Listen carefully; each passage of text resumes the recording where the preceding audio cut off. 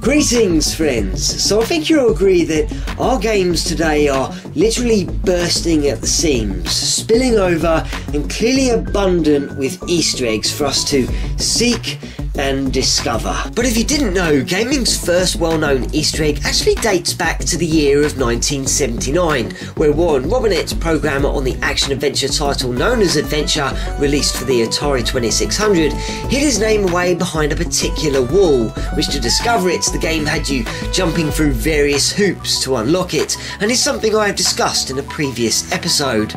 At that time, though, Atari did not allow their programmers to be credited, and when Warren's secret was discovered sometime later, Atari were notified, which obviously sparked a lot of interest as someone at the company then coins the revelation an Easter egg, and the rest is history. However, prior to this unearthing, there are in fact two earlier gaming Easter eggs, and both of which are featured on Fairchild's channel F Console.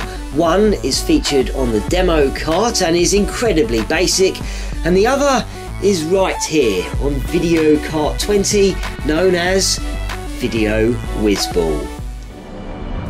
Number 1 Video Whizball consists of a straightforward playing field. Players are positioned at either end and both have a goal to defend.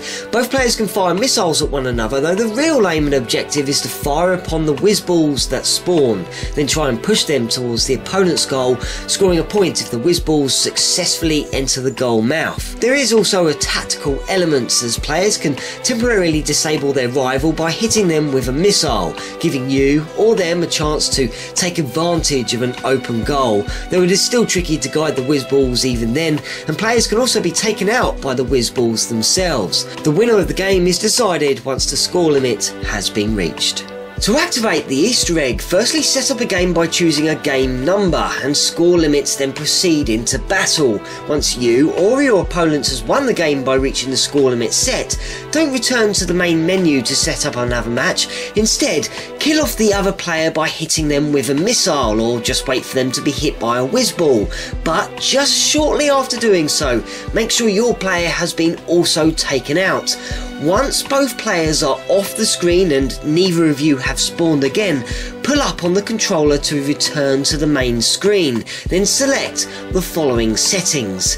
Game 43 with a score target of 67. When the field of play loads once again, in the middle a block will appear bearing the name of Reid-Selth, or in other words, Brad Reid-Selth, programmer of this very title, making his Easter egg earlier than the one found within Adventure.